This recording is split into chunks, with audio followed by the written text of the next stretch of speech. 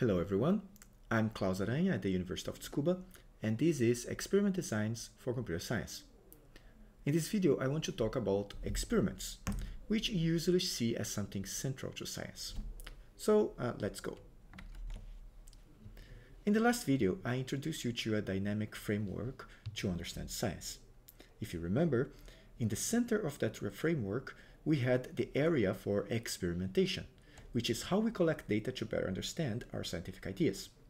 So in this video, I'm going to talk about a bit what is an experiment and how we, should we think about it and what are the characteristics of a good experiment.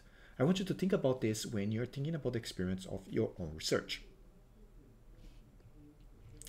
This idea of discussing what is science, what is an experiment, what is knowledge, is the domain of philosophy of science. So we are doing philosophy now. Sorry, Neil deGrasse Tyson. Anyway, in the philosophy of science, we are interested in discussing how we can know things about the world.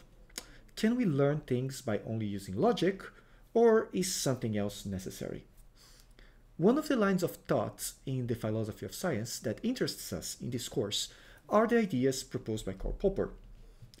So, Popper proposed the idea of experimentalism, which is one of the one idea that defines scientific knowledge as knowledge which is obtained by systematic and rigorous observation of the world.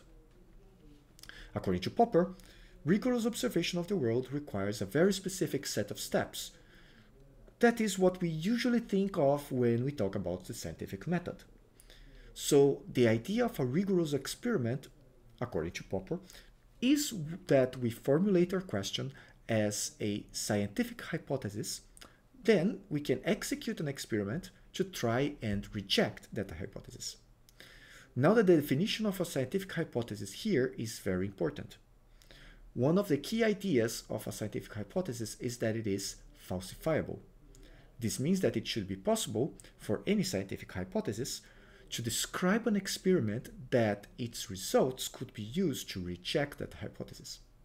If this is not possible, to think of a situation where you would have to reject your hypothesis, then your experiment is not scientific, well, at least according to Popper. So, for example, uh, Popper lived at a time when psychoanalysis, proposed by Freud, was really popular.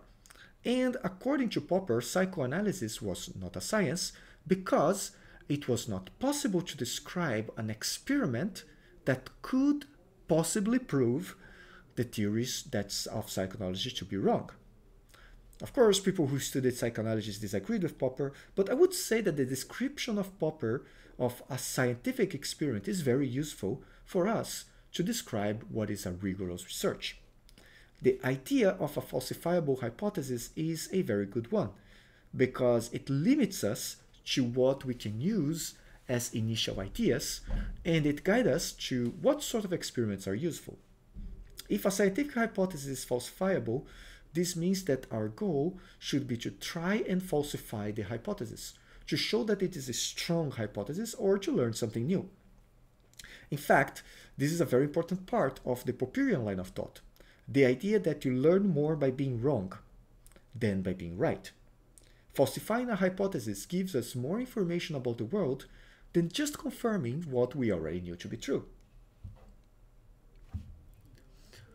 Anyway, I want to extend the idea of a falsifiable hypothesis to the idea of a fair experiment. Here, the idea of a fair experiment is an experiment that gives us the best chance to reach some sort of true knowledge. When I say fair, that's because the idea is that we're not trying to force one specific result, but really trying to honestly learn more about the world. So, what makes a fair experiment? The first point that I want to talk about is providing something to compare against. This is related to the idea that a scientific experiment can be falsifiable. So what does this mean? This means that a scientific experiment needs at least two possible results.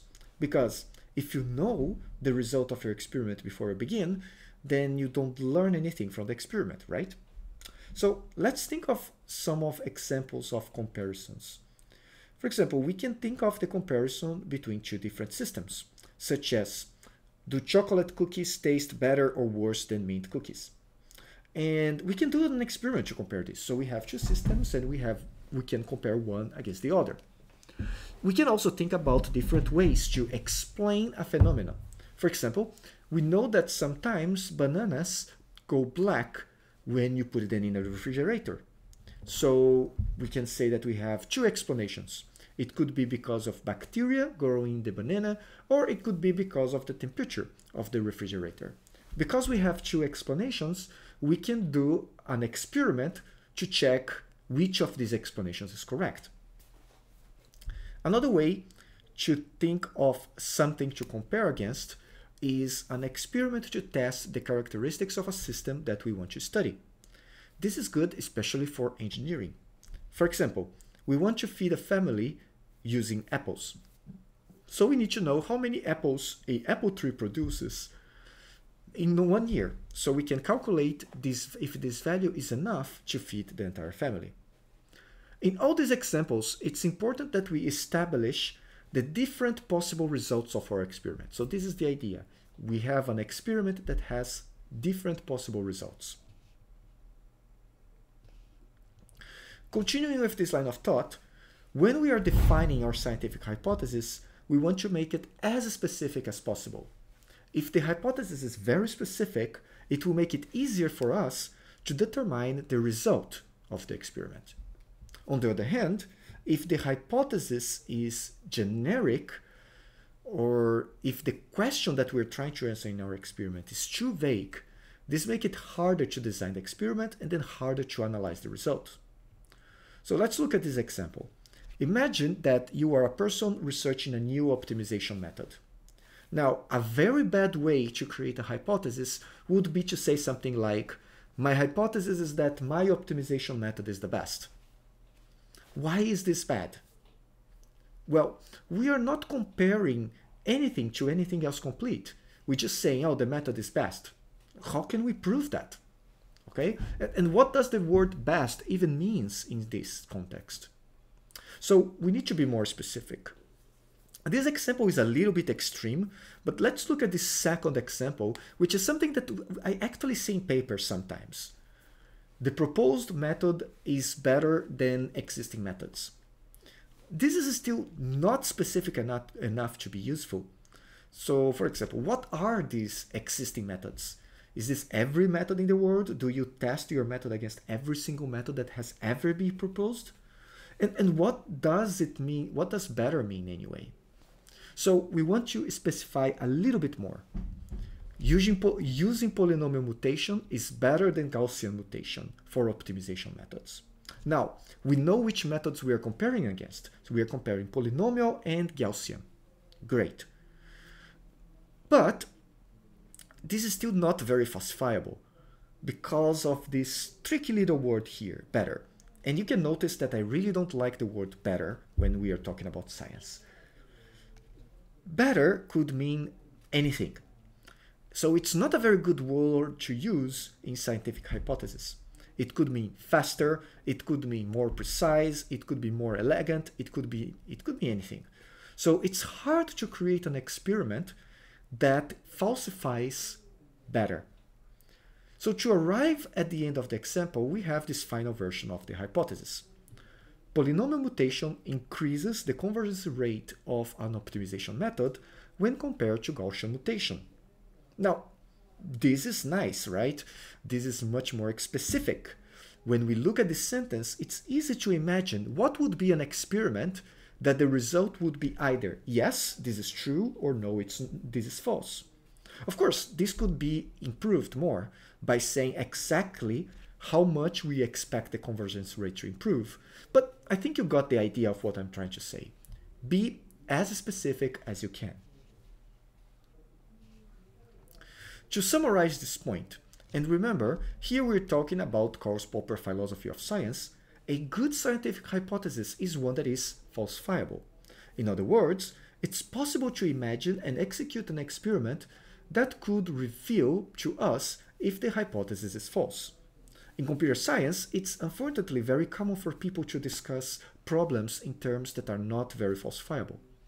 This usually happens when we are talking about systems that could always be improved, could always be hacked to give us something a little bit better.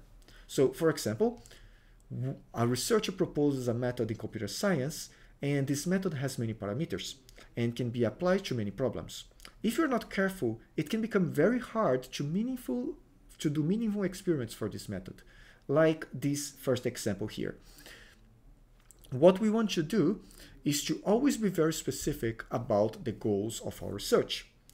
What conditions, what parameters, what problems, and what measures define success or failure in our research proposal.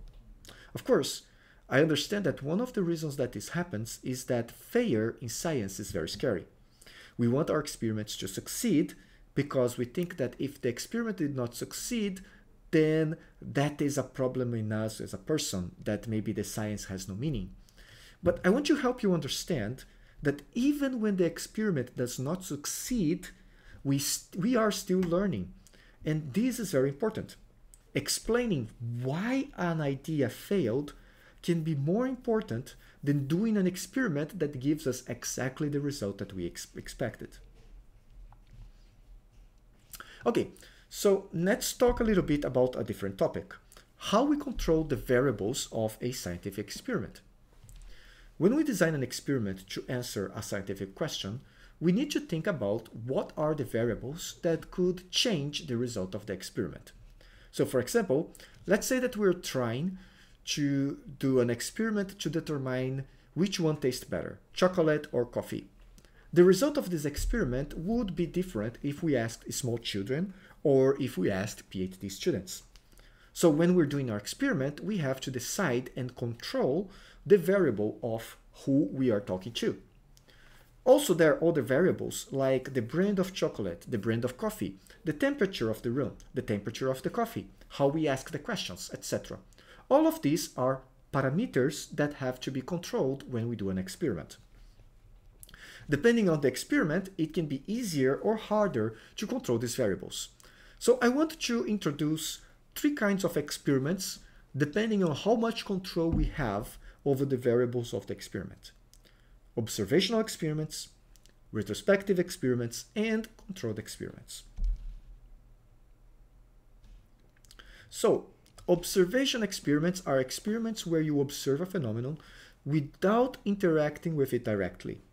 For example, we can imagine an experiment in astronomy where we observe the light of a distant star. There is not much that we can do to change this light, right? We can maybe choose which days we observe and what kind of equipment we use, but that's about it. Another experiment would be counting the number of people that are using masks in the train we can choose to count this number in different cities like Tokyo and Osaka, for example. So the variables that we control in an observational experiment are how we observe the data. So we need to be careful to make sure that we observe all the situations that are important for the kind of scientific question that we're trying to answer. For example, in the train mask experiment that I said, if we do not observe during the rush hour, we will miss a lot of information because usually we are interested in people using masks when there are a lot of people in the train. Or maybe we are interested in learning about what kind of people use colorful masks. And in that case, if we don't observe many and many and many and many days, we might not get enough data to make an interesting conclusion about our experiment. So these are the disadvantages of an uh, observational kind of experiment. Another class of experiment when we think about data gathering is the retrospective experiment. Here, instead of observing an experiment that is happening, observing an event that is happening right now, we obtain data that was recorded about this event in the past. For example, we are interested in learning more about marriages. If we did an observational experiment, it would take a very long time to gather all the data. So what we could do is that we go to the city office and we get the data of all the past marriages of the last few years. So we could, for example, try to find out if there was a day in the week when marriages are more or less common. Let me share one example of retrospective example, uh, experiment that I think was really cool. So there is this temple in Japan near a lake in the mountains that freezes in winter. The lake, not the temple.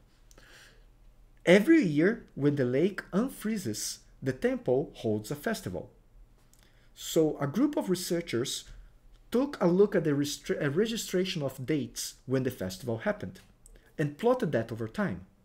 And by looking at that, they could measure the amount of climate change in that region over the years because the lake was unfreezing faster and faster and faster. And you can see that by observing that the date of the festival was changing over time. So in this way, retrospective experiments are usually cheaper since the data has already been collected and you just need to go and find it. On the other hand, you don't have as much control over the data as you have in an observational experiment. In fact, you need to be very careful about biases in data registration and missing records. For example, in the Lake Festival experiment that I was mentioned, there was a big chunk of data missing during the war. And there was also one period of time when an internal dispute in the temple stopped the festivals for, for a period of time. So this is one thing to think about when you're considering this kind of experiment. Finally, we have the controlled experiments, and this is the kind of experiment that you usually think of when you're thinking uh, as a computer science researcher. This is the experiment where you control all the aspects of the experiment. For example, you are comparing two sorting algorithms. So you can choose the algorithms, how much data they will sort, what kind of data they will sort, what kind of computer the algorithms will run on, how many times you will, will repeat the experiment, etc. So this gives you a lot of power. But as we all know, with great power comes great responsibility. It's very easy for a researcher to introduce biases into a controlled experiment, even by mistake. For example, you can choose conditions so that it's impossible for an experiment to produce a negative result. When comparing algorithms, you can choose a data set that always favor algorithm A over algorithm B, by mistake even. So we need to be very careful about that. Another problem with controlled experiments is that they may have a heavy cost. This is not always true in computer science because computer simulations are usually cheap, but has started to change in recent years. So, uh, let's talk a little bit more about introducing biases in an experiment. When you control the parameters of an experiment, and of course, this happens in controlled experiments, but it can also happen in observational experiments as well. We need to be careful not to introduce biases in the experiment. For example, if we want to compare the speed of two algorithms, but we run, we run both of them in a very powerful computer with very little data, it may be hard to see any difference. So in this case, we want to think about the execution environment to be able to see the difference between the algorithms. We also want to make sure that the environment is similar to the environment where we normally use these algorithms. So there are many possible choices that depending on the final objective of this experiment. Making these choices is one of the main tasks of experiment design. Here are some common experiment design questions. Which methods do we choose to compare? Which datasets? If we have participants, how many times we interview each? in what order do we perform our experiments. The order can be surprisingly important. Let's think of a trivial example. If we're comparing algorithms to process large amount of data, the speed can change if the data is cached or not cached. So the order of the algorithm has an effect on the result.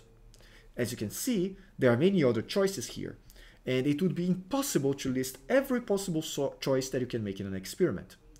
But the IT idea is for you to think carefully about what factors in your experiment can influence the results and then think about how you would design the experiment to minimize this influence. Let me give you uh, one concrete example. Let's say that we are comparing the running time of two computer programs. We know that the running time of a program is not constant. If you ever try to measure the running time of a program, you may have noticed that it changed a little bit. Some things that affect is how many programs are running your computer or the amount of memory and power that you have. Some of these factors you can control. For example, you can use the exact same computer. But there are also factors that you cannot control. For example, modern operating systems run several programs that you can control. If you are unlucky, then maybe the defragmentation program will run right when you're doing your experiment. and affect your results. So how do you prevent that? One of the main ways that we have to reduce this amount of variation is to repeat the experiment many times and take the average. It's important to understand that repeating many times and taking the average is a technique with the objective of reducing the influence of these random factors that we can control. Even then, we still need to understand what these random factors could be. Let's say a second example, just to give you a comparison. This time we use humans. Imagine that you are doing an experiment to compare the design of two websites. This is done very often in this industry and it's called A-B testing. Anyway, you have two websites, one that uses images, one that does not use images. And you want to know which design is easier for users to find information. So you prepare an experiment where the user has to find some information in site A and use find some information in site B and you want to know which one is faster. What is the problem with this design? Well, if we always do the experiment in the same order, first site A and then site B, what happens is that the human will learn, because that's what humans do, they learn. So they learn a little bit about the problem after site A, and the performance will be a little bit better at site B with no relations with the design of the websites. It's because the human learned. So in this experiment, we have a factor in the result that is not related to what we want to study. In this case, the role of experiment design is to remove the influence of this factor. So what we could do is, for example, to ask each user to only test one of the websites. Or maybe we can change the order from time to time. So some users test website A first, some users test website B first. Okay, final example. Let's say that we propose a neural network for a new vision problem and we can compare it with some traditional architectures. One thing that happens in neural networks is that we try many variations of hyperparameters until we get one that works really well. However, when we compare against the traditional method, we are using the traditional method straight from the literature. What is the problem here? Well, we're giving an advantage to our method because of the fine tuning and the hacking that we did when developing the method. If you think about it, this is almost like some sort of training that we are doing with our method.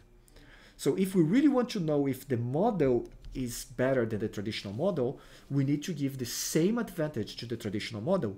In other words, we also need to do fine tuning and hacking on the traditional model so that both models have the same amount of human work behind them. So as you can see, uh, there are many choices that you have to make when you design an experiment. And these choices, they can have a deep impact in the results. This causes a problem. A researcher has an initial hypothesis and design an experiment to test the hypothesis. But the experiment fails and the researcher decides to change the experiment a little bit and the experiment fails again and the researcher creates a third design. The third design succeeds and the researcher publishes that. Hooray? Well, no. You can see that there is a problem here, right? We lose the information from the first and the second failed experiments, which could be very important. In fact, maybe the third success is not even very important compared to the original result. To prevent this problem, there is this idea of pre-registered experiments. This is very common in medicine and, and psychology, but not so common before in computer science yet. The idea is that first you publish your research protocol and then you do your experiment exactly as you published and then after that you publish the results. This helps separate design and experiment and helps maintain accountability in science. So I highly suggest that you take a look at this website to learn more. Okay, the final thing I want to talk about is reproducibility. Reproducibility means that another person is able to do the same experiment that you did and can reach the same result. This is important because, in the end, one of the goals of science is to improve the total amount of knowledge in the human race. Remember when we talked about Marie Curie sharing the techniques with other people? This is the idea. So if you are the only person that can do your experiment, well, then your experiment is not very useful, right? Fortunately, computer science is a bit lucky in this regard because it's relatively easy to make a computer science experiment reproducible. Some points that we have to take, take care with to make a reproducible experiment is first, we need to be very clear when we describe our experiments in papers and presentations. We write down all the details, the parameters, the design, the process, so another person reading your paper can follow the same steps. Then, even though we are very clear, we need to make the data and code of our experiments open. Even if the paper is really, really clear, there's always some implementation details that are not, that, that can cause problems. So open code is essential in research. Same thing for data. Even if you explain how you obtain the data, still it can be a lot of work that can impede the reproduction of your, of your experiment. So it's good if you can share the data so that other people can look at what you did. The way I think about it is that a majority of research in the world, and definitely the majority of research in Tsukuba, is funded by public sources. So it is our duty to give back to the society, but by making the results of our research public. Also, not only for replication, but open data allows other scientists to build upon your work, to explore ideas that you did not have at the time, or even did not consider. So open science is also important to accelerate the rate of scientific development. So let's summarize our talk for today. The idea I want to transmit to you is that many scientific discoveries depend on the results of good experiments and good data. And to obtain high quality data from your experiments, you need to perform them carefully. This involves doing a good design, thinking about controlling the parameters, and Uh, opening your data and your and your source in the end so other people can reproduce your results. This careful consideration is what's called experiment design, and it will be the theme for the rest of the course. So for, future lectures, we're going to focus a little bit more on the statistical analysis side of experiment design, but I will provide resources in Manaba for other topics that I think that you should study and consider.